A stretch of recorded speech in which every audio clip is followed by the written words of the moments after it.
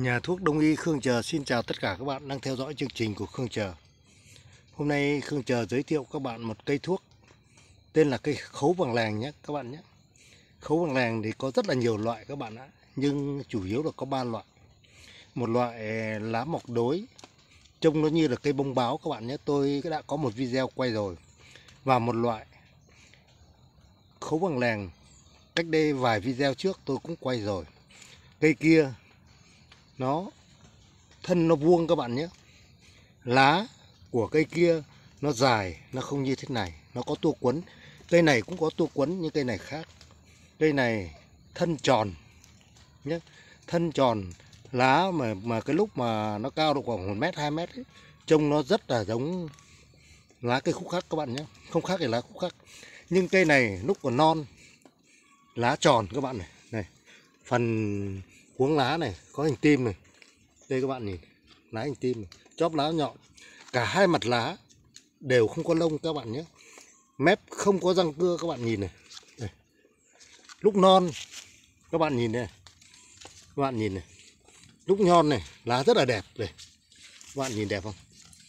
Rất đẹp mà rất mềm. Nhìn này, đẹp.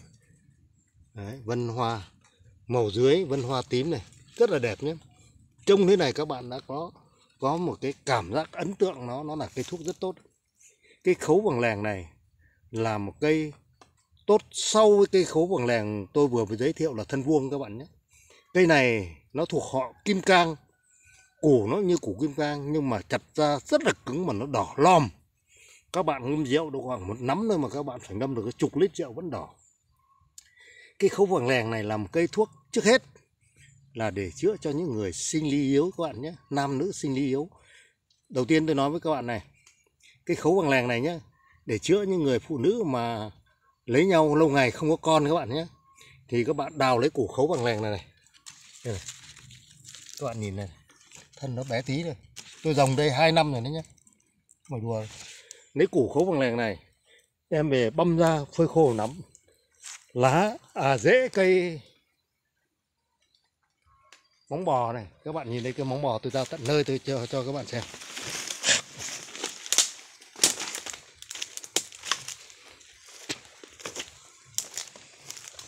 Đây các bạn nhé. Bạn lấy dễ cái móng bò này này. Đây. Đem về rửa sạch, băm ra phơi khô một nắm. Đây. Cái móng bò này rất là nhiều công dụng các bạn nhé, chứ không phải là nguyên cái công dụng về chữa cho nam nữ yếu sinh lý mà nó còn chữa chữa về dị ứng các bạn nhé, chữa về khớp.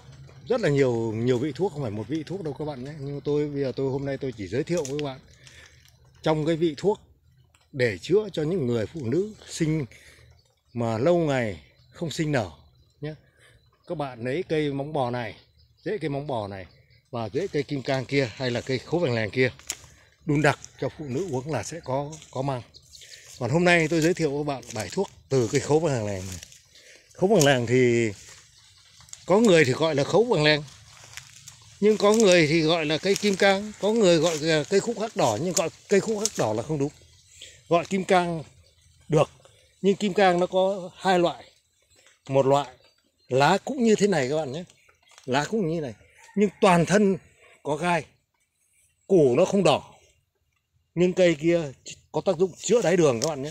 Lá giống như này, nhưng có gai, cây kia có tác dụng chữa đau lưng, chữa thận, chữa đáy đường. Còn cây này thì nhất là những anh nào mà chưa đi đến chợ đã hết tiền các bạn nhé. Lấy về phối hợp với này. Nói nhé. Chưa hết, củ khấu bằng làng này băm ra phơi khô một nắm dâm dương hoác, băm băm ra phơi khô một nắm muốn tần nhé muốn tuần băm ra phơi khô một nắm. Dễ cái cây ổi nước ấy nhé các bạn nhé. Chúng tôi cứ hay nói đùa là cây bật bung ấy. Nó có quả, lá như lá roi ấy. băm ra phơi khô một nắm. Bằng này vị thôi, các bạn làm thành một thang thuốc yếu sinh lý cho bệnh nhân uống uống.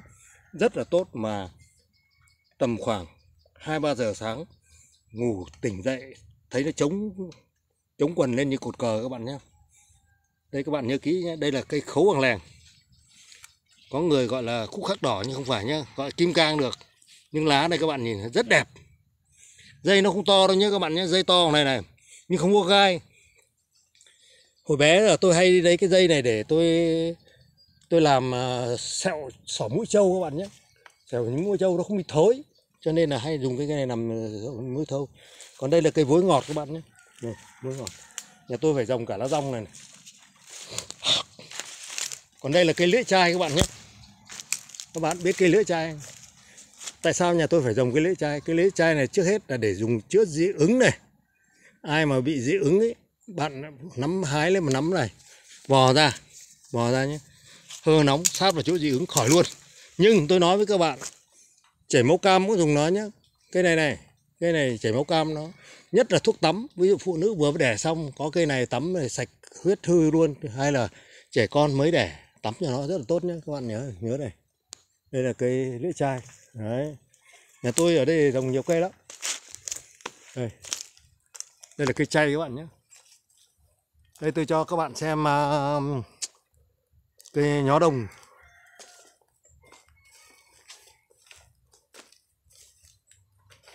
Đây là cây lấu các bạn nhé. Đây nhó đồng này các bạn này. Các bạn nhìn thấy nhó đồng này nhá. Đây ở lá bắp nó có ở cuống lá nó có cái lá bắp mọc kèm này nhó đông đào xuống. Đất nhà tôi trồng rất là khó nhưng mà trồng cây ngũ tử ngũ vị tử bắc rất là nhanh lớn các bạn nhé. Đây là ngũ vị tử bắc nhé. Hay còn gọi là na dây nhưng không gọi được na dây. Bởi vì sao? Cái quả này nó có từng chùm một như quả chùm nho nhưng quả nó to các bạn nhé. Khi nó chín nó màu trắng đấy mà cây này rễ nó rất đỏ và rất thơm. Đây mới chính là ngũ vị, vị bắc này các bạn này ngũ vị tử bắc. Thơm lắm đấy các bạn nhìn nhé đây cây bứa này. Cây bứa. Đây cái tô mộc các bạn nhé. Đây cái tô mộc. Tô mộc hay còn gọi là gỗ vang đấy. Cái này nhà tôi trồng rất nhiều nhưng mà cái anh cái anh phát uh, cỏ nhà tôi anh phát phát mất rồi. Anh ấy không phải là chuyên nghiệp anh phát để chết mất cây. Này. Đấy. rất là nhiều. Đây các bạn nhìn đây một vườn thuốc gốc bao la như này. Năm nay cái cây cổ sâm ở đây là nó mọc đầy hết nhé các bạn nhé. Đây là cổ sâm mọc đầy hết. Đây cây cổ bình các bạn nhé. Đây. cổ bình này. cổ bình có người gọi thóc lép nhưng mà giờ chính nó là cổ bình này các bạn. Cổ bình. Tại sao gọi nó cổ bình cái lá nó như cổ bình ấy? Cho nên người ta gọi nó là cổ bình. Đây. lá là như cổ bình. Ta gọi cổ bình đây khổ sâm này mà còn bây giờ tôi cho các bạn xem à, cái tóp mỡ nhá. Cái tóp mỡ này có tác dụng để chữa sinh lý yếu này chữa đáy dầm của trẻ con này chữa thận này chữa đại tràng này. Nhà tôi trồng cái này nhiều lắm. Đây đây đây là cái tóp mỡ này. Đây. Riêng cái cây tóp mỡ hay gọi là cây cây niếng cái này này rất là tốt các bạn này. Là một năm lên này. đây các bạn nhìn này, dòng một năm này nhé đây các bạn nhìn kỹ những cái này. Đây cái này mới mới chặt hôm nọ mà nó lên được như này. Đây những cái này. À đây quả nó hạt lên đây các bạn này, này.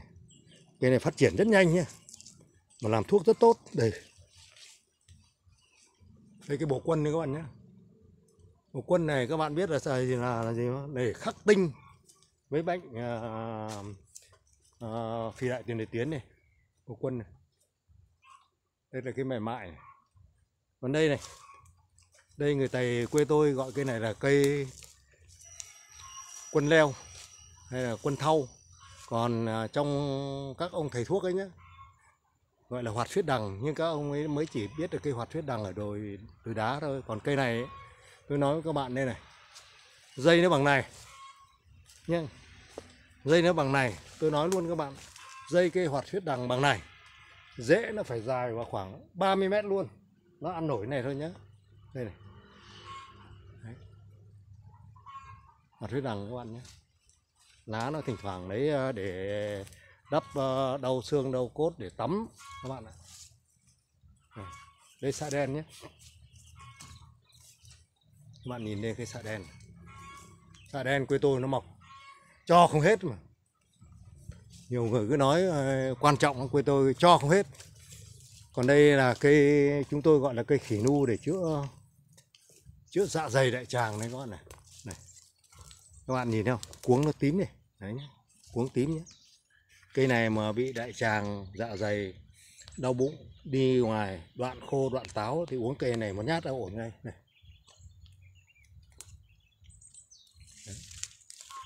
Nhà tôi ờ, phải trồng đấy các bạn ạ. Trồng ví dụ như mà nhớ ngại ra nhé người ta bị có con cái người ta đẻ bị áp xe vú tôi chạy ra tôi lấy một nắm lá cây chè vàng này. Đây.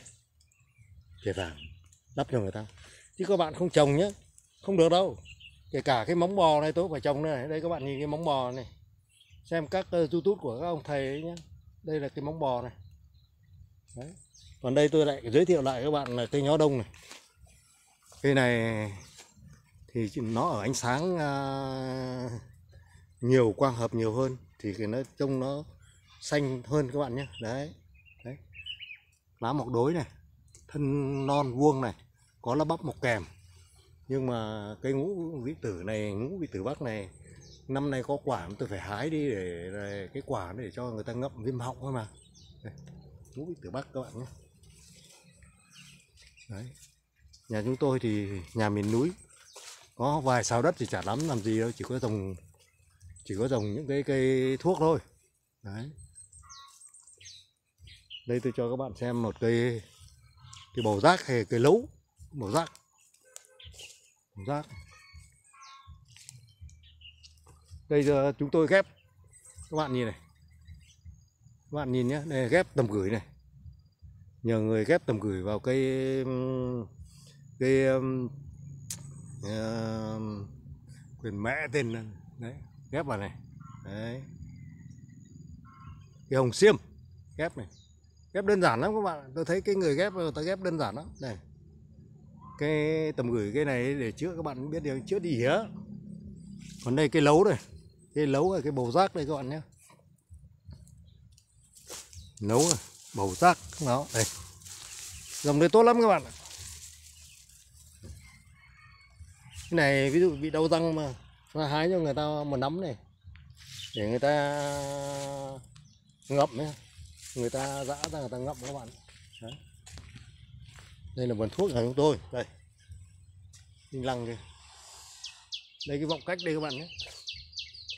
Ở trên miền núi ờ, ở đây không có cái vọng cách này đâu các bạn nhé cái vọng cách này nếu như mà ăn gỏi ăn ghém các cái này ăn tốt cực kỳ còn như tôi dòng đây để tôi thỉnh thoảng có những người bệnh bị u gan áp xe gan này lấy lá này đắp. Tôi lấy tận uh, phú thọ đấy các bạn ạ. Đúng ở nhà thờ Hương Nung Phú Thọ nhé ai mà theo dõi Facebook của tôi thì biết uh, Cẩm Khê Hương Nung Phú Thọ là tôi lấy cái cây này ở nhà thờ Hương Nung này. Cha đạo cho tôi đấy nhé đấy. Xin chào tạm biệt các bạn nhé